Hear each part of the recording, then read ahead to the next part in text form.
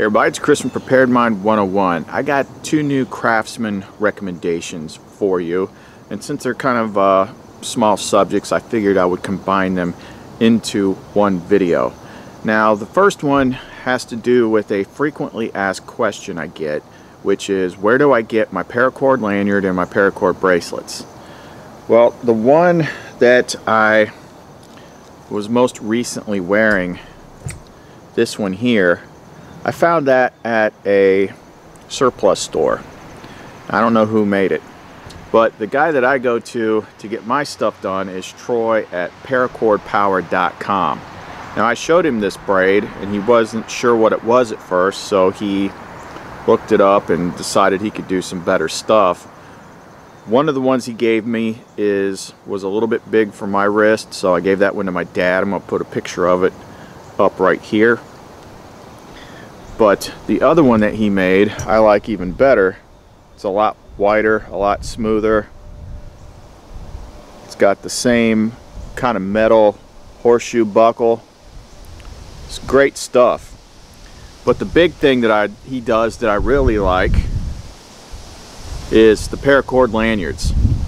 Now this is the one I've been wearing most of the time. But he did just send me a new one which is braided a lot differently. And you can just kind of see here. It did have a quick attach, quick release buckle on it. I took that off because it was a little bit long for my taste. So I wanted to put a lockable S-biner on it anyway.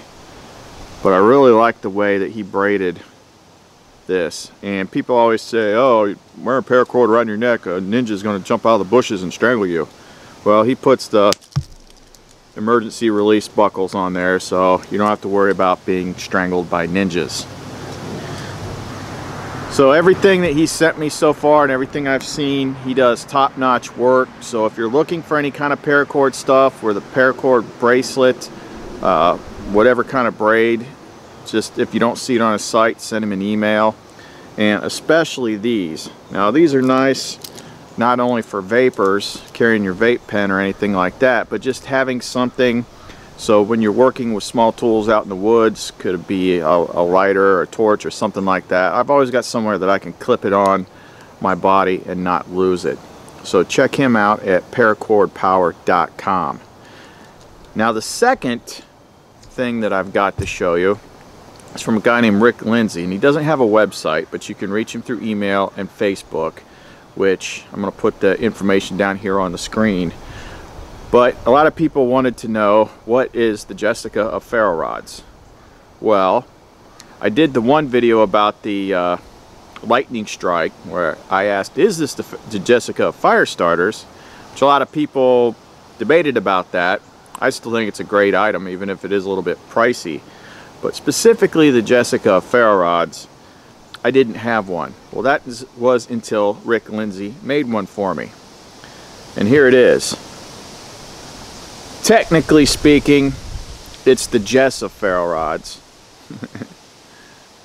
but he carves all these, I believe this is antler, with a big six inch ferro rod. And then he does some custom paracord weave stuff on it. So this thing is really, really nice. Now I've seen Will's already in action and Will did his little video and tested it out. I haven't scraped this one yet. So I'm going to go ahead and scratch a little bit of this coating off and we'll see how this thing works. Okay, so I got my little pruner sharpener tool here. Just going to use that to scrape off some of this coating.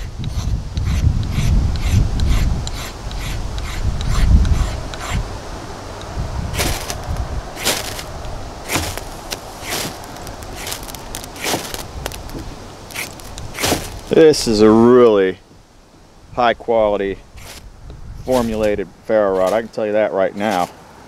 I'm just lightly scraping this. It's a little bit more to the misch metal side.